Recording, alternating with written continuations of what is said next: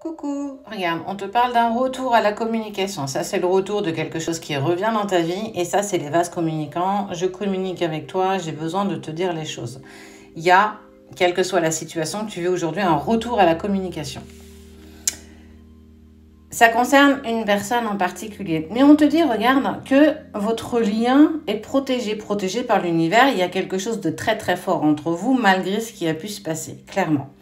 Et on, te dit que je vais revenir vers toi, j'ai besoin de te demander pardon. Parce que cette personne a commis clairement des erreurs par le passé. Elle est clairement sortie de ta vie avec lâcheté, sans vraiment que tu puisses comprendre pourquoi elle est partie. Et elle a clairement pensé à elle. Moi, je mets des choses en place pour moi, je, je, je me sens plus à l'aise dans cette relation, j'ai besoin de découvrir d'autres choses. Et clairement, ben, il ou elle s'aperçoit qu'aujourd'hui, c'est clairement une erreur. Et il y a cette grande culpabilité qui l'envahit. Après, ça, ça lui appartient. Clairement, ça, c'est quelque chose que toi, voilà, ça ne te, ça ne te regarde pas, c'est lui et sa conscience. Ou elle avec sa conscience. Mais clairement, on te parle d'erreurs commises.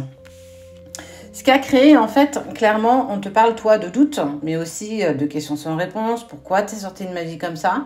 Pourquoi tu m'as lâché comme ça? Pourquoi tu n'as même pas essayé de me contacter ou me dire les choses? Pourquoi tu m'as même bloqué de partout?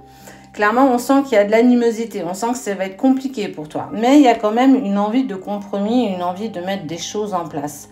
Regarde, tu vois, je veux faire des compromis, je veux, je veux qu'on puisse en fait parler ensemble, s'expliquer, j'ai besoin de te dire les choses et je sais qu'avec le temps, c'est quelque chose que tu pourras et que tu arriveras peut-être à faire.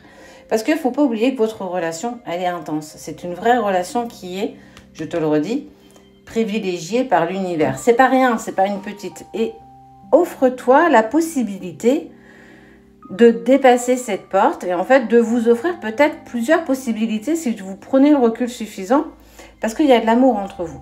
Moi, de ce qu'on me dit, il y a eu une erreur commise par cette personne, il ou elle, mais aussi c'est parce qu'elle a été endoctrinée. Il y a eu des personnes qui l'ont poussée aussi à commettre des erreurs. Alors attention, il ou elle en est aussi conscient parce qu'on te parle de culpabilité. Mais clairement, il y a un retour à la communication pour essayer d'accorder un pardon. Est-ce que tu vas pardonner?